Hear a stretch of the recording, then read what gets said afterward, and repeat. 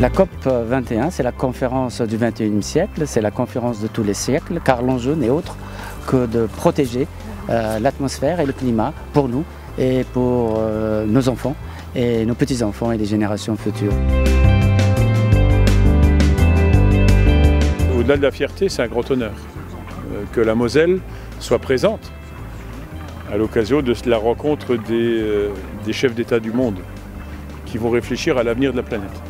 Une pomme marquée par la terre de Moselle, marquée par le soleil de Moselle, je crois que ce sera symboliquement un moment inoubliable dans l'histoire de la Moselle.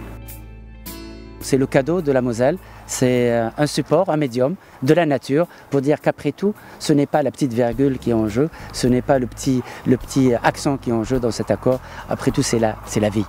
Et donc, euh, quoi de plus beau que d'avoir un instrument qui symbolise même la vie, la pomme, euh, et avec ce logo incrusté avec le logo de la COP 21.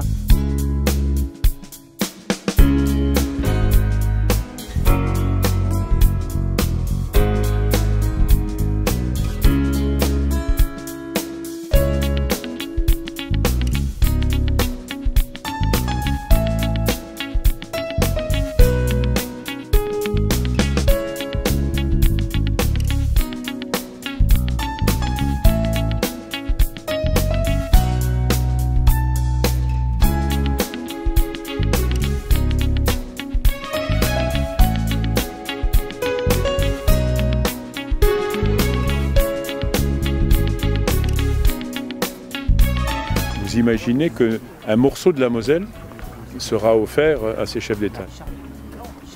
Les pommes marquées représentent tout simplement la vie et l'avenir. Voilà, tout simplement.